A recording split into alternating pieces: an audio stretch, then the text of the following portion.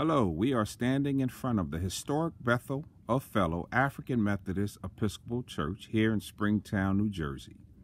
I'm presenting unto you our reader, Mrs. Cherie B. Douglas. Hello.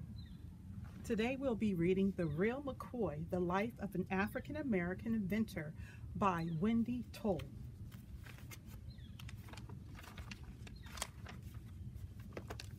Elijah McCoy was born in Colchester, Ontario, Canada on May 2, 1844 to George and Amelia McCoy, former slaves who had escaped from Kentucky via the Underground Railroad. The McCoys made the dangerous journey to Canada in search of freedom and a new home. To support his growing family, Elijah's father, George McCoy, joined the Canadian Army and fought in the 1837 Rebel War.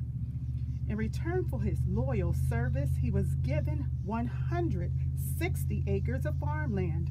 Elijah and his brothers and sisters were raised on this farm as free Canadian citizens. Elijah educating their children was extremely important to Elijah's parents. The laws in the United States made it illegal for slaves to learn how to read and write. In their new country, the McCoys had high hopes for their children. They were property owners, and as a householder, George McCoy could vote and could send his children to public school. Elijah attended a school for black children in Colchester, Ontario, where he learned to read and write. From a young age, Elijah was especially interested in the ways mechanical devices worked. He liked to take machines apart and put them back together. Elijah's parents realized he had a special talent for working with tools and machines. They saved their money to send Elijah to a school where he could study mechanical engineering and could also learn how to design his own inventions. That school was in Edinburgh, Scotland in 1860. When he was only 16 years old, Elijah traveled 3,000 miles across the Atlantic Ocean to study engineering in Scotland. While Elijah was studying abroad, the Civil War in America broke out. President Lincoln issued the Emancipation Proclamation during the war. This was the first step towards freeing slaves in America. When the Civil War ended, Elijah could live anywhere in the United States as a free man. He finished his training in Scotland as a master mechanic and engineer and sailed to America. Elijah settled in Michigan, but he had a hard time finding work as an engineer. Many people still thought of blacks as slaves. The only job Elijah could find was as a fireman oilman for the Michigan Central Railroad. In the late 1860s, there were no cars, buses, or planes. People traveled by train. By our standards today, it was a slow and expensive way to travel. The trains were pulled by engines that ran on steam produced from water heated in huge boilers located in the cab of the locomotive.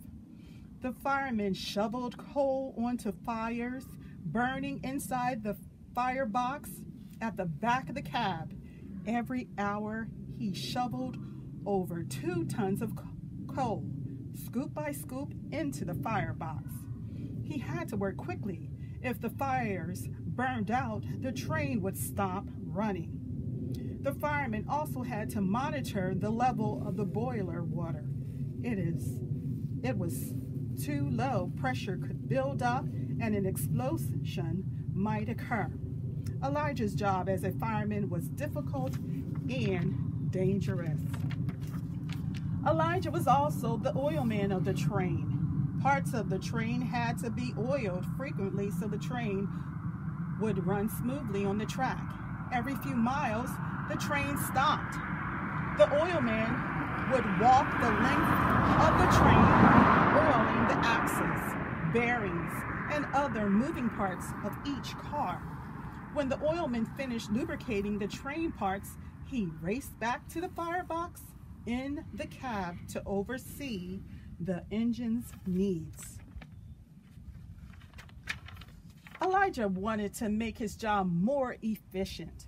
Several men had already made devices that lubricated the train mechanically, but Elijah felt he could improve on those inventions. He worked for two years on his ideas.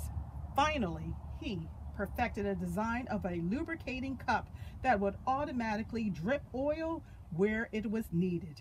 The train would no longer have to stop every few miles. Elijah made his first oil cup model in 1872. He applied for a patent for the government to protect his rights to his inventions.